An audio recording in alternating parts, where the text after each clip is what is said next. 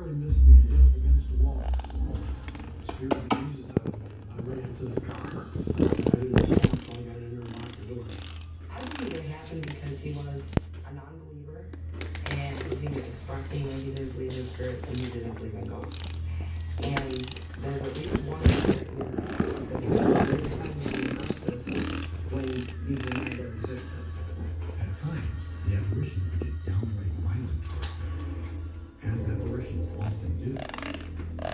started going up into the second floor, going up those stairs, it was just like a icky feeling.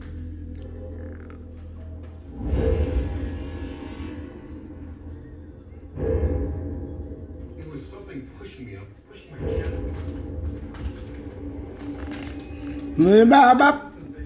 Forearm. I looked down, and I had like a U-shaped scratch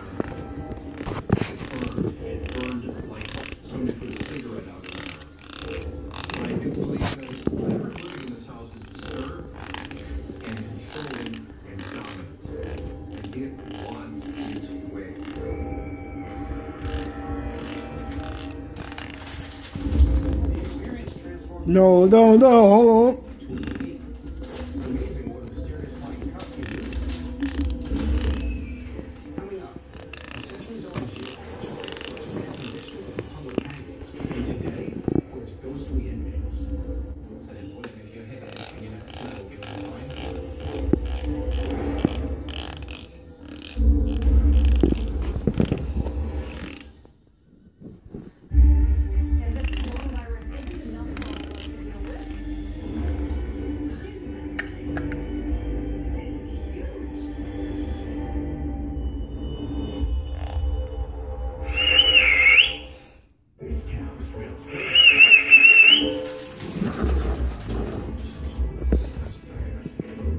This